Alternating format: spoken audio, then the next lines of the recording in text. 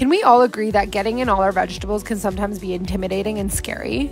But you can do it in a much easier way if you try this gazpacho soup. It's made using raw ingredients and you simply enjoy it cold. It is so delicious. I used ingredients like avocado, cucumber, and green peas. I added diamond crystal kosher salt for that added saltiness that we all know and love, and it is genuinely so delicious, nutritious, and comes together so easily. You can find the full recipe linked in my bio.